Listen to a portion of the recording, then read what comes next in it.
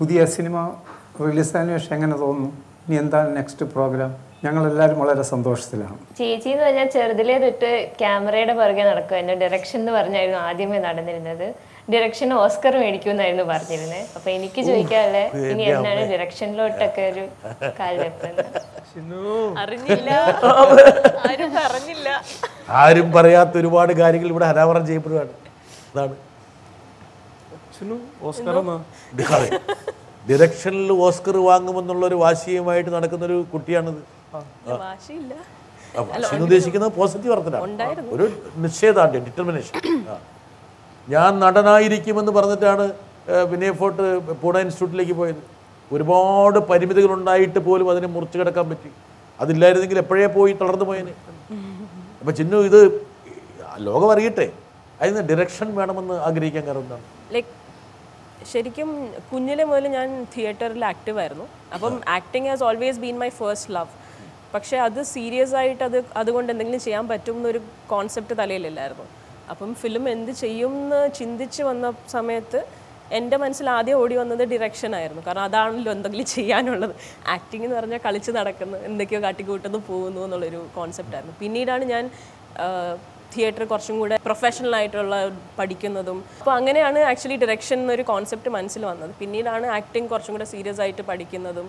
അപ്പം പക്ഷെ ഇപ്പം ഈ അഭിനയത്തിൽ വലിയൊരു എന്താ പറയുക അംഗീകാരം വാങ്ങിയിരിക്കുന്ന ഈ മുഹൂർത്തത്തിൽ കുറച്ചും കൂടി ആ മേഖലയെ ശ്രദ്ധിച്ചു പോകുന്നതല്ലേ നല്ലത്? അല്ലേ? ഡിറക്ഷൻ എന്ന് പറഞ്ഞാൽ അത്ര എളുപ്പമുള്ള പണിയാണോ? അഭിനയമല്ല. അഭിനയമല്ല. പക്ഷെ എനിക്ക് കളിച്ച് ചിരിച്ചൊക്കെ ചെയ്യാവുന്ന അങ്ങനെയല്ല. പണ്ട് അങ്ങനെ ആയിരുന്നു. പിന്നീട് മനസ്സിലാക്കിയപ്പോൾ അത് തെറ്റിദ്ധാരണയായിരുന്നു ഇപ്പൊ മനസ്സിലായി.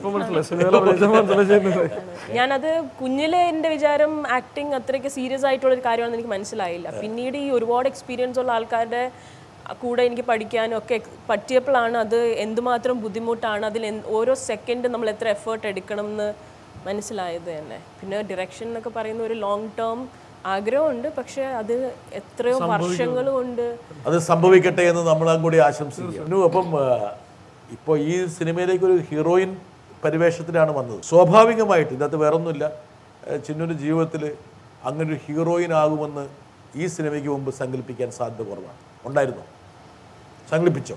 ഹീറോയിൻ ഒരു കോൺസെപ്റ്റ് ഇല്ല. ഒരു ആക്ടർ ആകും അത് ഓഫ് കോഴ്സ് അത് പക്ഷെ ഒരു ലീഡ് റോളിലേക്ക് വരുമെന്ന് ചിന്തിച്ചിരുന്നു. ആഗ്രഹം ഉണ്ടായിരുന്നു ചിന്തിച്ചോ എന്ന് വെച്ചാൽ അതിന്റെ പോസിബിലിറ്റിനെ കുറിച്ച് കഴിഞ്ഞ കുറച്ച് വർഷങ്ങളായിട്ട് ഞാൻ ചിന്തിച്ചിട്ടില്ല. ക്വൈറ്റ് ഓണസ്റ്റ്ലി ആക്ടിംഗ് എന്ന് പറയുന്ന ഒരു കാര്യം വേണ്ട. ബാക്കി കരിയർ വേറെ കോൺസെൻട്രേറ്റ് ചെയ്യാം എന്ന് പറഞ്ഞ് നിൽക്കുമ്പോഴാണ് യാദർശികമായിട്ട് നടക്കുന്നത്. അതൊരു വിളിയായിരുന്നല്ലേ? പക്ഷെ അപ്പോഴും വിശ്വസിച്ചോ? ഇത് കളിപ്പിക്കാനാണെന്ന് വിചാരിച്ചു. റഹ്മാൻ ഒരു ദിവസം രാവിലെ ഖാലിദ് റഹ്മാൻ ഉണ്ടിയുടെ ഡയറക്ടർ അപ്പോൾ റഹ്മാൻ ഒരു ദിവസം രാവിലെ ചോദിച്ചു മലയാള സിനിമയിൽ നായികയാവുന്നതിനെ കുറിച്ച് എന്താണ് അഭിപ്രായം?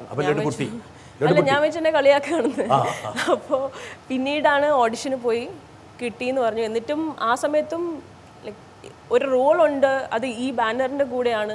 ഇത്ര ഇമ്പോർട്ടന്റ് ആണെന്നൊന്നും അറിഞ്ഞില്ല. പിന്നീടാണ് അതിനെക്കുറിച്ച് ഓരോന്ന് അറിയുന്നത്. അപ്പോൾ ഓരോ ദിവസം അറിയും തോറും ഓരോ ലഡു. പക്ഷെ അതുവരെ വിനയ ഫോട്ടിന്റെ ഒരു സിനിമയും കാണാത്ത ആളാണ് ചിന്നു. സിനിമ കണ്ടിരുന്നോ? ഏതൊക്കെ സിനിമ കണ്ടിരുന്നു? കുറെ കണ്ടിക്ക് പേരൊക്കെ എടുത്ത് പറയാൻ പറഞ്ഞ. അത് പേര് പറയാത്തതുകൊണ്ടാണ് കഥാപാത്രങ്ങൾ അല്ല കുറെ ഞാൻ കണ്ടിട്ടുണ്ട്. കണ്ടിരുന്നോ? എനിക്ക് ആക്ച്വലി എന്റെ ഫേവറേറ്റ് ആയിട്ടുള്ള കുറെ ലൈക്ക് ആർട്ടിസ്റ്റുകളിൽ ഒരാ ഒരു ആർട്ടിസ്റ്റ് ആണ്. ഞാൻ ആക്ച്വലി ബീപ്പ് ശബ്ദം കേൾക്കുന്നു. സീരിയസ് ആയിട്ട് ഞാൻ ശേഷം ഒരു ബീപ്പ് ശബ്ദം കൂടി. ഷൂട്ടിന് പോയ സമയത്ത് ബഹുമാനം കൂടുതൽ അറിഞ്ഞ ഞാൻ സാർ എന്നാണ് വിളിച്ചുകൊണ്ടിരുന്നത്.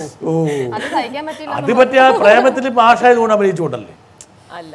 പ്രേമത്തിന് വിമൽ വിമൽ മാഷായതുകൊണ്ടല്ലേ? അല്ല ചിന്നു സാർ വിളി ഭയങ്കരമായിരുന്നു. ബഹുമാനം കൂടുതൽ കാരണം അപ്പൊ ഒരു ദിവസം മാത്രം കാണുന്ന ഒരാളെ സാർ എന്ന് വിളിച്ചു കഴിഞ്ഞാൽ നമ്മളെ ക്ഷമിക്കും. അല്ലെങ്കിൽ നമ്മളെ ഇഗ്നോർ ചെയ്ത് പോകും.